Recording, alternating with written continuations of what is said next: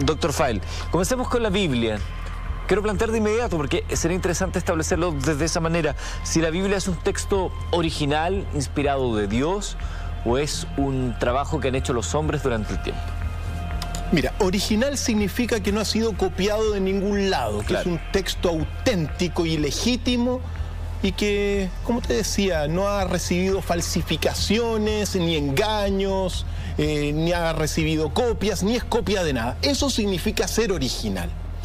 Ahora bien, uno tiene que ir recordando este texto y hacer un pequeño estudio muy breve de lo que significa la Biblia. La Biblia es la fuente de fe de más de 5.000 iglesias de base cristiana. Más de 800 millones de personas tienen depositada su fe en este libro que toco aquí con mis manos es el corazón de la cultura occidental, en gran medida, de la religión occidental. Es un libro que contiene mucha sabiduría, que contiene también enseñanzas y revelaciones.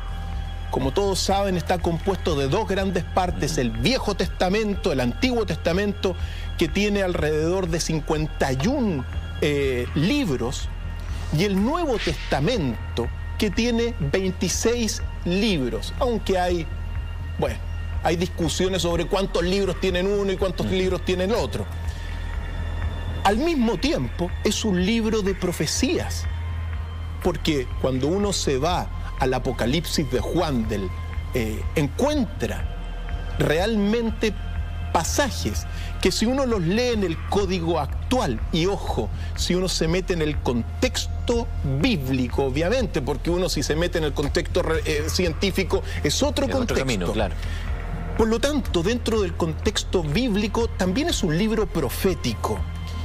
Y uno tiene que decir y saber estas cosas, que el canon bíblico que hoy día nosotros tenemos se estructuró el año 325 fundamentalmente durante el concilio de Nicea convocado por el emperador Constantino el Grande.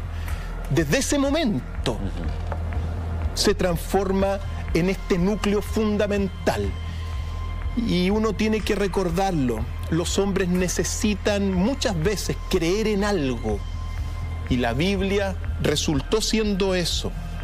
Responde a las preguntas, quizá una de las preguntas más profundas, de a dónde venimos, hacia dónde vamos, entrega pautas morales de comportamiento y evidentemente para muchos, para toda esta visión cristiana occidental, están las palabras de Dios escritas acá.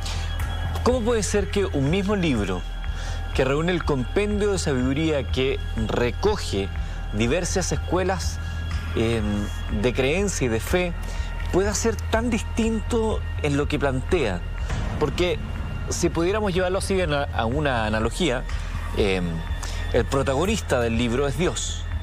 Pero ese protagonista tiene un comportamiento en la primera parte del libro y un comportamiento muy distinto en la segunda parte del libro. Tanto sí que parece que fueran dos personajes diferentes. El Dios del Antiguo Testamento, castigador, eh, severo, voy a decir una palabra que quizá a algunos no les va a gustar, genocida, capaz de devastar a la raza completa, por ejemplo, con una inundación, es muy distinto al segundo Dios que nos manda a su Hijo y nos enseña que tenemos que amarnos los unos a los otros, que todos son bienvenidos, que todos son aceptados. Eso, esa dicotomía entre estos dos personajes se puede entender desde una perspectiva de inspiración divina de la realización, de la diégesis de cada uno de los libros. Mira, lo divino significa que es algo sagrado, algo inmaculado. ¿Qué es divino hoy en día? Uno puede decir que lo eterno es divino si una ley del universo es eterna, uno podría decir que las leyes del universo son divinas y son sagradas. Pero es distinto lo que ocurre realmente en este texto, que es lo que tenemos que ir analizando. Dos visiones de Dios completamente distintas, es así de simple. es efectivo. Ahora, el núcleo, porque claro, el judaísmo está radicado en el Antiguo Testamento, el cristianismo en ambos textos, en el Antiguo y en el, y en el Nuevo Testamento.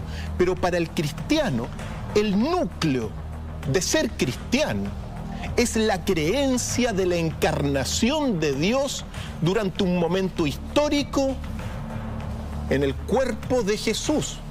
Por lo tanto, para el concilio de Nicea y la creencia posterior, Dios pasa a ser Jesús.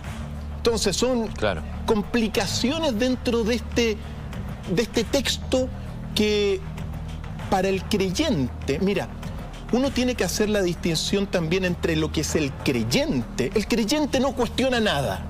Otra cosa somos los investigadores, los filósofos. Claro, porque eh, la, fe, la fe te invita a que tienes que aceptar ciertas cosas que parecen, desde algún punto de vista, si uno lo plantea desde un plano cartesiano, descabellado. O sea, creer que, o aceptar que Jesús nació por obra y gracia del Espíritu Santo, desde esta perspectiva humana, mundana, terrenal, es muy difícil de creer. Es difícil de entender. De aceptar. De aceptar. Que, supuestamente es el mismo predicamento que habría pasado José cuando le llegan con esta noticia. Es que ahí diste con un punto muy importante. ¿Qué es lo que sucede con este texto? Como decía, ojo, un texto muy importante también, Eduardo, comenzado a, a escribir en el siglo VII a VIII antes de Cristo. O sea, 800 años antes de que llegara Jesús, que entendemos que es el año cero. Sí, 800 años, digamos, es en el 750, comenzó la redacción del genio bíblico, hasta el año 110 después de Cristo, ese es el lapsus. Pero tú dijiste una cosa, ¿qué es lo que sucede?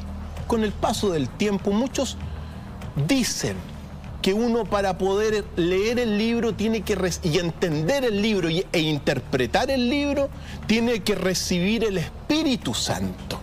Si tú no recibes el Espíritu Santo, no puedes leer el libro porque no lo vas a comprender y tampoco lo vas a interpretar. O sea, necesitarías de alguna manera una invitación divina, esa paloma o esa imagen que te permita abrir tu corazón para entender la enseñanza. Efectivamente, argumento de autoridad para que solamente puedan enseñar la Biblia los sacerdotes, los obispos, los cardenales o los pastores evangélicos o reformistas. Entonces, ese argumento, ojo, porque es un argumento para imponer autoridad.